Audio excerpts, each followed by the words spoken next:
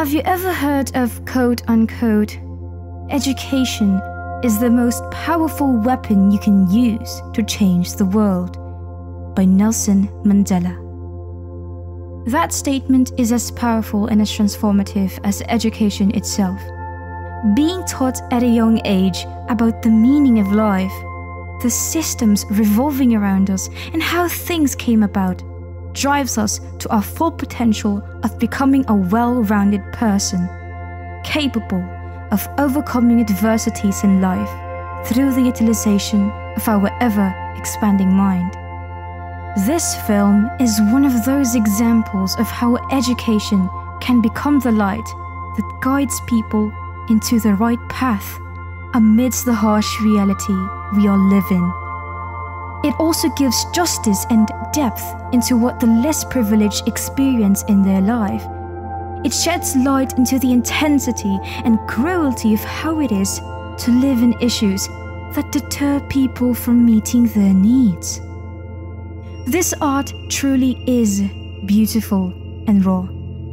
And we hope that after you had watched this film, you had been moved and influenced beyond the horizon to become the voice of those who are deprived of having one.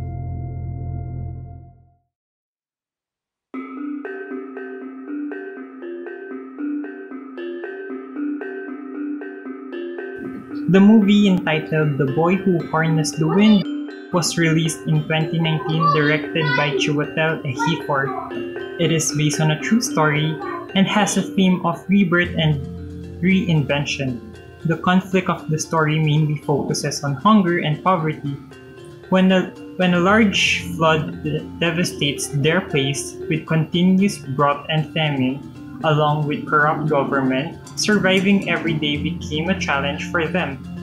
When William pursued his secondary education, the school that he attended suddenly imposed a fee for them to continue studying. At that time, they are struggling to have a proper meal. Therefore, William decided to drop out of school. Since William has nothing to do, he found a new hobby which is tinkering with the things he sees. Over time, he became good at it. Uh, he became good at it as he also brought and studied the book from his primary school. With enough knowledge and supplies, he started making a windmill. At first, everyone in their place thought he was a lunatic. But when they see the working windmill, everyone was in awe. With the help of the teacher, William was recognized and invited in different interviews. All in all, the conflict of the story was poverty. But William is a bright kid, he didn't let that situation get in the way of helping his family and other people.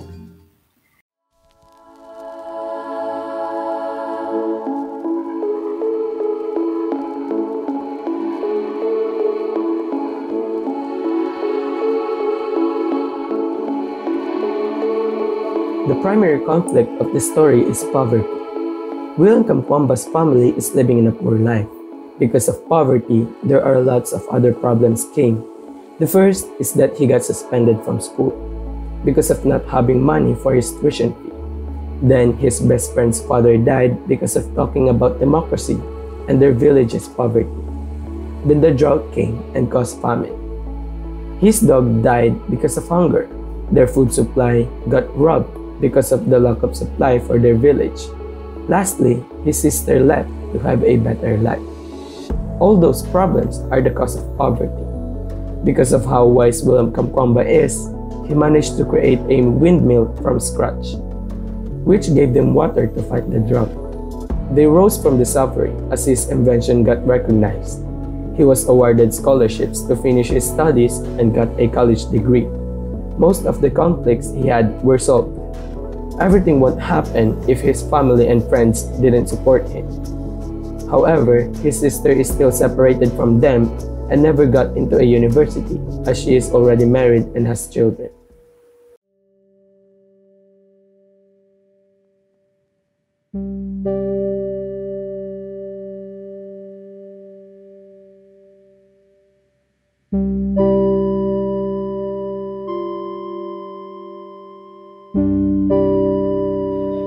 The story revolves around a boy named William who struggles to achieve his dreams. He wants the good for his family and the whole village. The film showed different problems and issues that William is facing that is also happening in the whole world in real life. People there lived in an impoverished place where the government neglected any responsibility to help the people. They have freedom, but there's no peace. They can share their thoughts, but there's a risk. They will be threatened by people with power, and people are becoming thieves because of hunger. This shows a lack of secure peace and resources. The chief who shared his thoughts and dreams for his people to a running president was dragged at the back and get beaten by the underdogs of that running president or by the government. They didn't bring him to the hospital because of the threat they might get. The main character, William, got to school, but it stopped because of financial problems. They paid only the down payment. He wants to study even at night, but doesn't have kerosene left for the lamp to light. They can't afford energy, or the source of energy is far from them. That is why they can they don't have electricity in their house. They also lack good health services and affordable quality education. Food resources are limited, can't plant properly during both rainy and dry seasons because they don't have enough trees to absorb water, which causes floods all the time, and don't have agricultural machinery to pump water from wells to fields, and they only use plows to plant, which slows down the production of food resources. Because of these problems that the world is facing today, the United Nations came up with a strategy and goals that they want to achieve in the future, which is called Sustainable Development Goals, that are composed of 17 goals in order to develop a better world.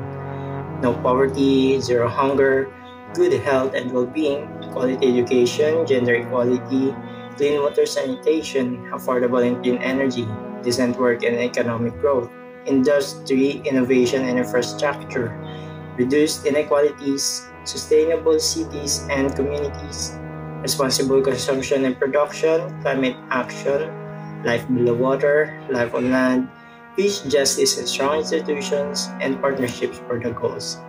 And this is how the film relevant to the United Nations Sustainable Development Goals.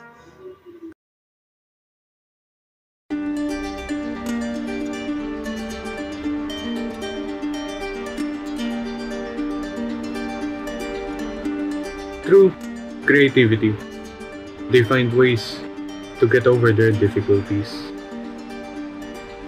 They are being given unfair treatment, preyed upon the corrupt government, all because of their poor status. Being blinded, using what seems to be a good sum of money, similar to some of the natives on various locations here in the Philippines. Just like us. Filipinos. The people here who nearly gave up worked together to get through the challenge they're facing.